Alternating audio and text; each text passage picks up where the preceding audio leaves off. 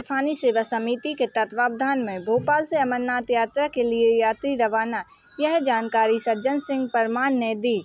इस अवसर पर समिति के संरक्षक गोविंद गोयल भी उपस्थित रहे।